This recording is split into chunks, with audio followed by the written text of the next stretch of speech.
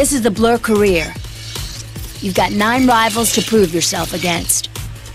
As you compete in their events, you'll start earning lights and fans. Earn lights by placing in events. Earn fans by pleasing the crowd. Lights unlock more events. Fans unlock cars. Each rival will also have a set of demands. You want to complete them all for a chance to take them on. Beat them in a one-on-one and add their car to your showroom. So you want to earn lights, gain fans, and take on rivals all the way to the top. This is it. Time to step up and enter the world of powered up racing.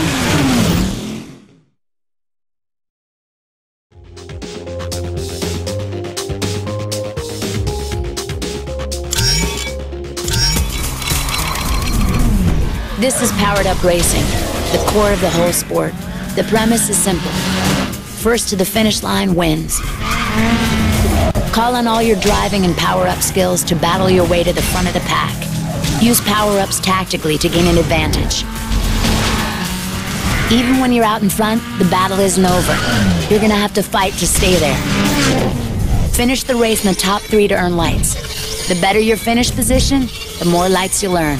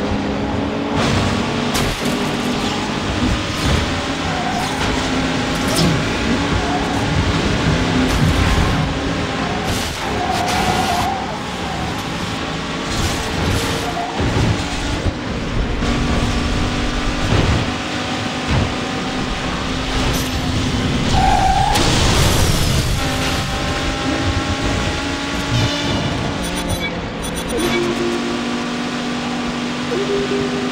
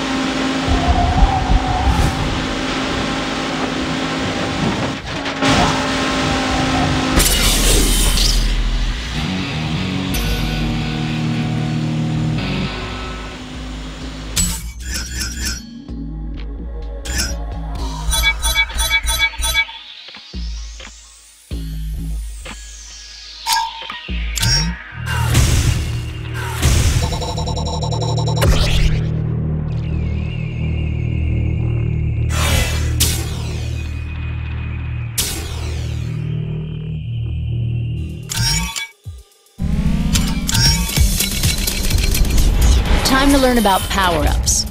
Drive through power-ups to pick them up. Trigger them with the fire button. Let's see what each power-up does. This is a shunt. Shunt targets the next car in the pack, even if it's out of sight.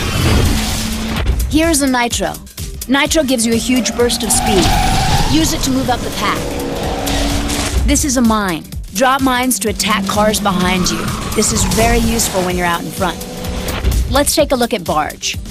Barge is a close-range attack that will shove cars out of your way. This is a Bolt. Bolt has three high-velocity rounds that fire straight ahead. You want to land all three shots for maximum impact. This is a Shield.